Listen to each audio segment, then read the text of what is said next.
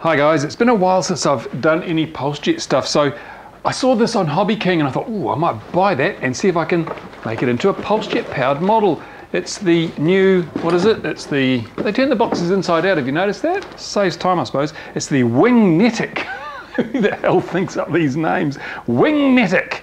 And it's a, um, I don't know, it's actually a design I was contemplating for PulseJet Power as it is. It's kind of like, there was a, what was it? Um, Great, no, it wasn't Great Plains. It was one of the American manufacturers had um, a plane looked very similar to this for nitro power, and I thought, ah, it's a really good layout for pulse jets, and I'll show you why. Because if we get inside, here we go. Here's the airframe. I've got, just got the ARF version. I didn't want the electric motor and anything because I'm going to be powering it with a pulse jet. And you see it's got an elevator at the back here, yeah, nice and easy, and separate ailerons.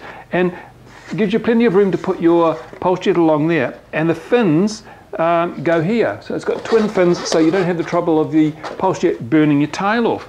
I happen to have a Hobby King pulse jet here. I was a bit disappointed that it's a little bit smaller than I'd hoped, but as you can see, if we put the, uh, the pulse jet on there, it's going to make an interesting looking model. And hopefully, um, you know, it'll fly. Now the pulse jet's pretty heavy. Um, the wing loading is going to be quite significant, so it'll probably require a catapult to launch it. That's not a problem, I'll make a catapult. But I'm thinking, hmm, you know, I've been looking for a plane, an ARF plane to throw this on. I got a Hobby King Dolphin, which I thought, yeah, but that's not a very streamlined or aerodynamic model. Whereas this looks a whole lot more aerodynamic, faster, thinner wing, um, and it'll have a pointy nose.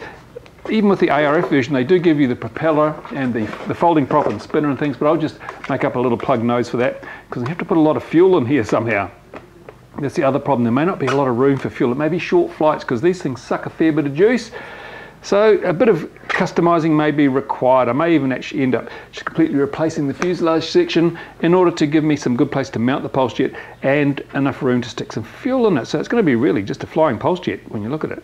So yeah, hopefully over the next few weeks I'll have time to invest in making this fly. It'll be a good test of the Hobby King pulse jet and probably a test of the Wingnetic that Hobby King were never thinking of when they launched this product. So, and if it works, well, hey, if you bought one of these, you'll find something to do with one of these. In the meantime, I've got to get back to the bench. Way too much to do here at RC Model Reviews. So thank you for watching. See you again soon.